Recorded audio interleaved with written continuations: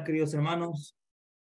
Un fuerte abrazo para cada uno de ustedes. Qué gran bendición es poder comenzar cada mañana alabando y glorificando a Dios junto con ustedes como un solo pueblo y como una sola familia. Realmente son una bendición para mi vida. Y gracias por la oportunidad y el privilegio que me dan también de poder compartir y juntos aprender lo que la palabra de Dios quiere enseñarnos en esta mañana. Hoy comenzaremos con el libro de Filipenses, así que le invito a ver su Biblia conmigo en el libro de Filipenses. Vamos a estar comenzando entonces a partir del día de hoy nuestro estudio del libro de Filipenses, el libro favorito de nuestro hermano Raúl Fernández. Cuando nosotros estudiamos o analizamos un poco el libro de Filipenses, hay cosas que me llaman muchísimo la atención y que son muy interesantes. Empezando por ver un poco acerca del contexto en el que se encuentra el autor del libro de Filipenses. Si nosotros vemos el contexto en el que el autor se encuentra, vamos a poder entender un poco más la magnitud de las enseñanzas que el autor quiere transmitirnos a lo largo de toda la carta.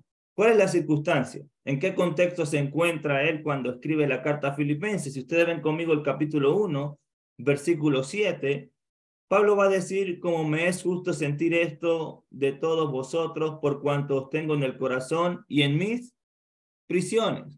Cuando Pablo escribe la carta de Filipenses está preso. También lo va a decir el capítulo 1, versículos 12 y 13. Quiero que sepáis, hermanos, que las cosas que me han sucedido han redundado más bien para el progreso del Evangelio, de tal manera que mis prisiones se han hecho patentes en Cristo, en todo el pretorio y a todos los demás. Pablo está en una circunstancia o atravesando por un momento difícil, está preso, por supuesto, no por hacer lo malo, sino por predicar el Evangelio, por hacer la voluntad de Dios. Recuerden que Pablo escribe cuatro cartas estando preso en Roma eh, y una de estas es Filipenses. Ahora, no solamente está preso, que solamente el hecho de estar preso lleva consigo estrés, sufrimiento, ansiedad, angustia, sino que si nosotros vemos ahí mismo en el capítulo 1, versículo 19, Pablo va a decir, porque sé que por vuestra oración y la suministración del Espíritu de Jesucristo, esto resultará en mi liberación, conforme a mi anhelo y esperanza de que en nada seré avergonzado, antes bien, con toda confianza, como siempre, ahora también será magnificado Cristo en mi cuerpo, o por vida o por muerte. ¿Y qué significa eso? Pablo no solamente está preso, sino que está esperando, según lo que vemos en el verso 19 y 20, una sentencia de vida o muerte. Pablo está a punto de condenarlo, de sentenciarlo. Están a punto de decidir si le quitan la vida o si lo dejan con vida. Sin embargo, Pablo va a decir en el verso 19 que él está confiado que por la suministración del Espíritu y las oraciones de los hermanos, esto va a resultar en su liberación. Ahora, quiero que pensemos por un momento y nos pongamos en esa situación. ¿Qué pasaría si nosotros estamos presos y estamos esperando una sentencia de vida o de muerte? ¿Cómo nos encontraríamos nosotros? ¿Qué pasaría por nuestra mente? cuánto nerviosismo, cuánto afán, cuánta tristeza, cuánta preocupación, cuánta ansiedad, cuánto nervio, cuántas lágrimas derramaríamos. Me pongo en la situación de Pablo y realmente viviría esas horas muy, pero muy afanado. Sin embargo, hay una enseñanza maravillosa que Pablo transmite a lo largo de toda la carta. Porque en el capítulo 4, aunque no es lo que nos toca estudiar y lo va a estudiar otro hermano más adelante, Pablo va a decir regocijaos en el Señor siempre, otra vez digo, regocijaos. ¿Y cómo es que un hombre, estando en esta condición, puede hablar de regocijo? ¿Cómo es que un hombre, estando en esta condición, puede hablar de gozo? ¿Cómo un hombre en esta condición va a decir en el versículo 6 del capítulo 4, por nada estéis afanazos? Esta es la carta donde más se habla de gozo. Miren el capítulo 1, versículo 4 siempre en todas mis oraciones rogando con gozo. Capítulo 1, versículo 18. Que pues, que no obstante, de todas maneras, o por pretexto o por, o por verdad, Cristo es anunciado y en esto me gozo y me gozaré. Capítulo 2, versículo 2. Completad mi gozo, sintiendo lo mismo. Capítulo 2, versículo 17. Y aunque sea derramado en liberación sobre el sacrificio y servicio de vuestra fe, me gozo y regocijo con vosotros. Versículo 18. Asimismo, gozaos y regocijaos también vosotros conmigo. Capítulo 2, versículo 29. Recibidle pues en el Señor con todo gozo. Capítulo 3. Capítulo 4, versículo 1. Así que hermanos míos, amados y deseados, gozo y corona mío. Capítulo 4, versículo 4. Regocijaos en el Señor siempre. Otra vez digo, regocijaos. Capítulo 4, versículo 10. En gran manera me gocé.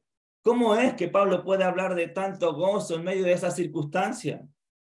Uno tiene que preguntarse, ¿cuál es la razón por la que Pablo, a pesar de estar a punto de ser sentenciado a vida o muerte, a pesar de estar preso, puede mantener el gozo y puede hablar de gozo y puede llamar a regocijarse en el Señor siempre?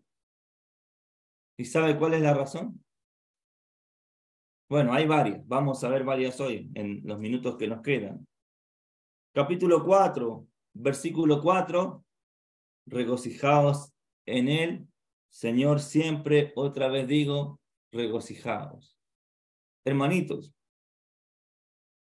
el motivo, la razón del gozo del cristiano no está en las circunstancias.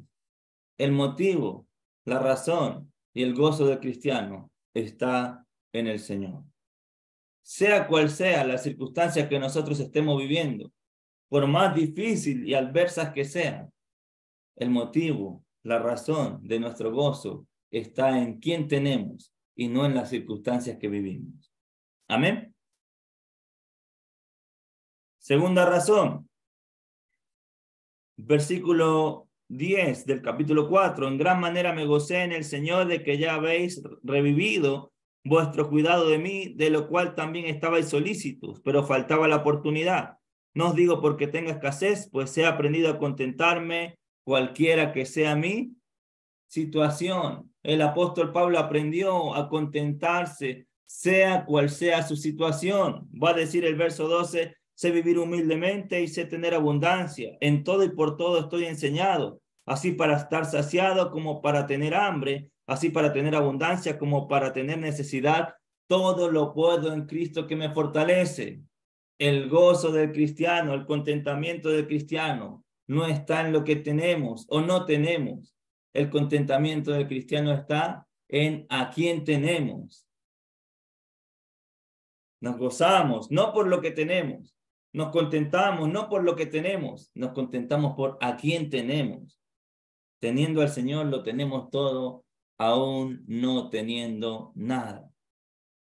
Y la tercera razón, vamos al capítulo 1, que es el que nos toca estudiar. Capítulo 1. Después de que Pablo habla de que está esperando una sentencia de vida o muerte, va a decir el verso 21, porque para mí el vivir es Cristo y el morir es ganancia. Para el apóstol Pablo, no es determinante la decisión que están a punto de tomar referente a él de vida o muerte. Porque para él, si vive, es un motivo de gozo porque va a vivir para Cristo. Y si lo sentencian a muerte, para él es ganancia. Vivir, la razón de su vida es Cristo. El morir es ganancia. Ahora, Esto es interesante. ¿Por qué? Porque el morir, hermanitos lindos, y aprovecho de darle ánimo a todos aquellos que han sufrido la muerte de algún hermano, algún ser querido que ha sido fiel al Señor. Morir, hermanitos lindos, es ganancia. Pero es ganancia para aquellos que la vida representa a Cristo. Si queremos que la muerte si queremos que el morir sea ganancia para nosotros, debemos desarrollar nuestras vidas en torno a Cristo. La muerte es ganancia para aquellos cuya vida es Cristo. La muerte es ganancia para aquellos cuya vida gira en torno a Cristo, para aquellos que comen, que hablan, que andan, que trabajan, que hacen lo que hacen las 24 horas al día en función de Cristo. Y no me estoy refiriendo a aquellos que tenemos la bendición de una u otra manera de trabajar tiempo completo para la obra, sino me estoy refiriendo a que en el trabajo trabajo para Cristo, que en la casa sirvo para Cristo, aunque como, esposo soy esposo, amo a mi esposa porque lo amo, lo hago para el Señor. Todo lo que hacemos debe girar en torno al Señor. Donde voy, hablo de Cristo. Lo que sale de mi boca tiene que ver con las enseñanzas de Cristo. Lo que pienso, pienso como Cristo. Aquel cuya vida es Cristo, morir es ganancia. ¿Y sabe por qué? Lo va a decir un poquito más adelante, verso 22, verso 23. Porque de ambas cosas, de vivir o morir, estoy estrecho, teniendo deseo de partir y estar con Cristo, lo cual es muchísimo mejor. ¿Sabe por qué Pablo mantiene el gozo a pesar de que están a punto de sentenciar la vida a muerte? Porque él entiende que si vive, vive para Cristo. Y morir es ganancia, pues estar con Cristo es muchísimo mejor. Hermanitos lindos, estar con Cristo no es mejor. Estar con Cristo es muchísimo mejor. Pero para eso, si queremos estar con Cristo eternamente, debemos convertir a Cristo la única razón de nuestra vida. Si queremos estar con Él eternamente, debemos convertir a Cristo y su obra en el centro de nuestras vidas. Porque Pablo va a decir en el verso 22, mas si el vivir en la carne resulta para mí, ¿en quién está pensando Pablo si vive? ¿En él? No. Verso 22, si quedo con vida, que sea para el beneficio de la obra. Pablo solamente piensa en la predicación del Evangelio, Pablo solamente piensa en el crecimiento de la obra. Pablo vive en función de Cristo y de su iglesia. Y yo me pregunto en esta mañana, ¿para qué estoy viviendo? ¿Cuál es el centro de mi vida? ¿Cuál es el verdadero propósito de mi vida? ¿Cuáles son mis prioridades? ¿Cristo es el centro de mi vida? ¿Pienso, actúo en función de Cristo? ¿Pienso, actúo y vivo en función del crecimiento de la obra? Si la respuesta es que sí, el día que nos toque partir será ganancia para cada uno de nosotros. Tenga la plena certeza y la seguridad que si para usted vivir es Cristo, el morir va a ser ganancia. Porque estar con Cristo no es mejor, es muchísimo mejor. Que el tiempo que el Señor nos dé en esta vida, hermanitos lindos, sea para vivirlo por Él y para Él, y sea para servir con toda nuestra mente, con toda nuestra fuerza y con todo nuestro corazón a su obra, porque para eso estamos aquí. Que sea cual sea la circunstancia que nosotros estemos enfrentando en esta vida, no perdamos el gozo, no perdamos el contentamiento, porque el gozo del cristiano no está en las circunstancias, no está en lo que vivimos, está en para quién vivimos y por qué vivimos. Está en el Señor. Que el contentamiento del cristiano no esté en lo que tenemos o no tenemos. Aprendamos a contentarnos sea cual sea nuestra situación, entendiendo que la razón del contentamiento nuestro no es lo que tenemos, sino a quién tenemos. Teniendo al Señor, lo tenemos todo. Por eso, Él debe convertirse en el centro de nuestras vidas. Amén. Miren el verso 24 para terminar, estamos en el capítulo 1. Porque quedar en la carne es más necesario por causa de vosotros. En la mente de Pablo no está él. No está, él no es su prioridad. En la mente de Pablo solamente pasa Cristo y su iglesia. servir a Cristo y servir a su iglesia. Por la mente de Pablo solamente pasa el servir a los hermanos y ayudar a que la obra siga creciendo. Hermanitos lindos, que el Señor nos ayude a vivir por Él y para Él. Y miren lo que dice el verso 6 del capítulo 1. Este es mi deseo para cada uno de nosotros, estando persuadido de esto, que el que comenzó en vosotros la buena obra, la perfeccionará hasta el día de Jesucristo. Que el que comenzó la obra en nosotros, la perfeccione, viviendo cada día por Él y para Él. Vamos a orar. Señor nuestro Dios, te damos muchísimas gracias, amado Padre, por ser tan bueno con nosotros. Gracias por haber comenzado la obra en nosotros y por darnos un verdadero propósito para vivir, Señor. Gracias porque en ti encontramos todo lo que necesitamos y aún más. Fuera de ti, nada deseamos en esta tierra, pues en ti tenemos todo, Padre. Por eso nos contentamos, sea cual sea nuestra situación, y por eso nos gozamos, Padre, a pesar de las adversidades, porque el motivo, la razón por la cual nosotros tenemos gozo no está en lo externo, sino está en tenerte a ti, Señor. Padre, ayúdanos a cada día a vivir por ti y para ti.